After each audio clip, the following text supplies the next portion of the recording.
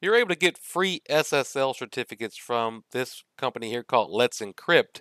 But it's a little tricky if you're on a Windows server. So in this video, I'm going to show you how I use this little product called WinSimple to do it.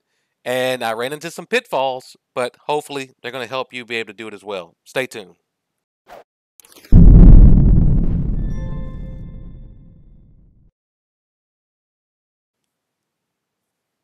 Hey everybody, this is David with Tech Smart Boss here with another video.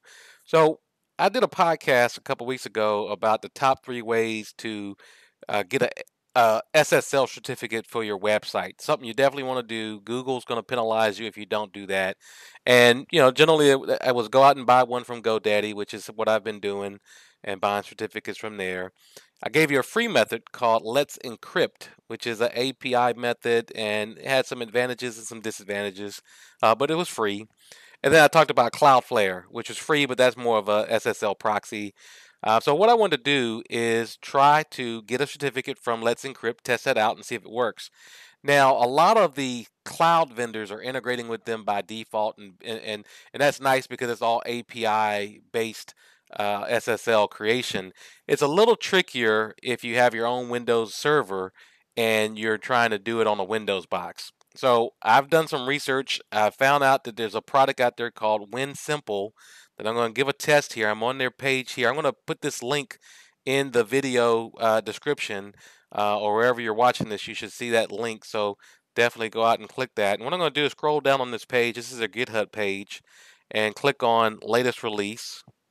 And as of this video, it's 1.9.6, but they've got a couple of dot increments here. 6.2 seems to be the latest.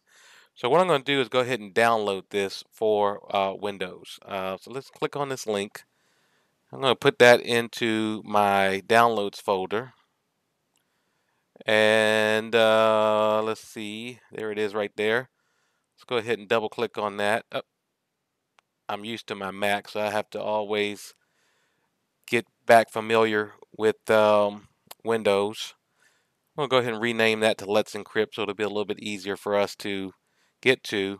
And looks like we've got a good thing there. So now this is pretty simple. Uh, we're going to test this out, but essentially I should just have to go out here and run this command from this directory that uh, just got expanded. Let's see. All right. So I'm going to go ahead and run Let's Encrypt. This might be a little small. We're going to let me zoom, put this in the middle of the screen so I can easily zoom in and show you on the video. I'm going to do let's encrypt, if I can spell it right today, .exe, and this should be simply prompt me to, oh, let's see what it's telling me. Let me do a dot. So it'll run from this directory versus trying to find a path. All right, here we go. So it says uh, enter an email address, not public, used for renewal failed notices. So, so far so good. I'll go ahead and put my email address in here. Now it should go out there and read my host headers and determine all my uh, websites here. Let's see, do you agree uh, to the licenses and conditions? I'm going to go ahead and say yes to that. All right, now it's saying, what do we want to do? Create a new certificate, uh, and then there's a couple legacy options there. Well, I'm looking to create a new certificate. So it looks like this is a little utility where when I want to renew some things or list my renewals, I can come back in here and run this and do this. This reminds me of the old days uh, back in the 90s when I used to play those games like Doom and things like that where you would answer questions and move to the next room and, and, and that kind of crazy stuff. I'm going to go ahead and say N to create a new certificate. All right, says what kind of certificate would you like to create? Single binding of an IIS site, all bindings for a single, all bindings for multiple, manually input host names. Ah, I like that. That's a nice feature. Um, I'm gonna do a single. Uh, I'm gonna manually. Mm, I'm gonna do a single. I'm gonna try a single binding um, of an IIS site because I really just want one certificate for this one particular uh, binding that I have. So I'm gonna press one hoping that's going to give me a listing. Yes, it does. All right, so now it's listing all of the uh, websites I have on this server, and I'm going to pick the one that I want to build this certificate for, And in this case, I see I need to do some cleanup of my host headers, but I'm going to pick number five, which is the one we're trying to get today. So let's choose that site. And now it's going out there and looks like some magic is taking place. All right, uh, what happened here? It said um, invalid, uh, detailed invalid response, uh, authorization failed, all sorts of things. Answer should now be browsable. So I wonder if because I have a um, already expired certificate on this site, it, ah, you know what? I see what's going on. It actually wants to browse HTTP to that site, and I don't have that enabled because I only want you to go HTTPS, and I've got an invalid certificate already on this site. So what I'm going to do is rather than have show you all the complexity of I'm going to just add another binding so it works on HTTP versus HTTPS, uh, stay tuned. I'm going to pause this video. I'm going to come right back and we're going to say yes to start this again. Okay, so I'm back. I made that change, did a little magic behind the scenes. Let's go ahead and hit, say yes to start this again. Uh, it's going to put me through the whole system again. So let's go ahead and say in for create new certificate. And I want to do number one, a single binding of an IIS site. I'm going to pick my particular site that I'm trying to build this SSL key for.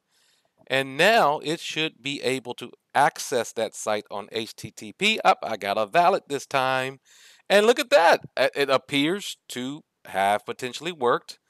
Now, what's nice about this Win Simple is one of the things about these certificates from Let's Encrypt is they autom- they need to be renewed every 90 days.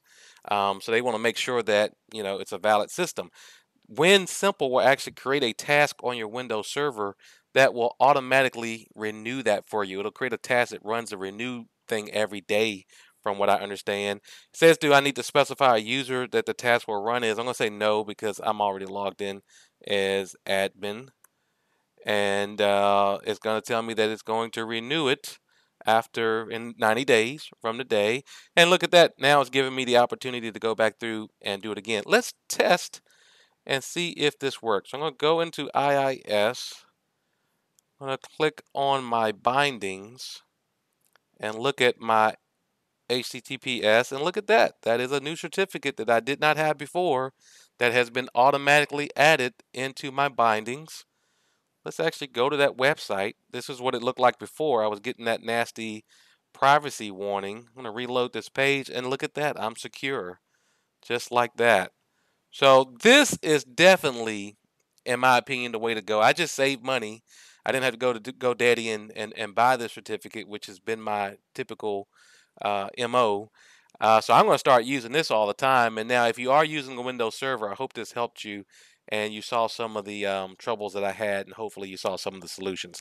If you like this video, stay tuned for more. Subscribe to our YouTube channel. Check us out on Facebook. Subscribe to that page, and go out to TechSmartBoss.com for more free business tips and resources. And stay tuned for the next video.